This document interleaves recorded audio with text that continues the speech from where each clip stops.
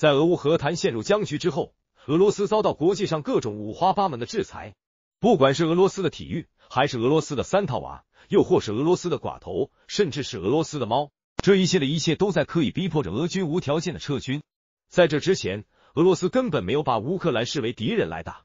但是国际制裁继续这么下去，很明显造成事态更加恶化。俄罗斯不但投入了更多的兵力，也动用了更多的重型武器，不再像过去那样自缚手脚，使乌克兰的战局迅速发生了变化。美媒报道，赫尔松市市长伊戈尔科雷哈耶夫表示，俄罗斯军队已经进入市政厅，这是俄军第一个攻陷的主要城市。市长科雷哈耶夫公开表示，乌克兰军队已不在该市。居民需要听从武装人员的指示。对俄军来讲，占领赫尔松无疑有着非常重大的意义。赫尔松位于黑海之滨，地理位置位居克里米亚头顶，似一把利剑，随时可以对黑海舰队构成威胁。而赫尔松被占领后，对俄国的军事威慑就会大大降低。更重要的是，乌克兰的海上补给线被切断，今后的海上运输进出都会受到极大限制。无论从内陆进入黑海，还是从黑海经涅波河进入内陆，都将成为问题。从开战以来，俄军虽然攻势凶猛，但从未占领过任何一个乌克兰大城市，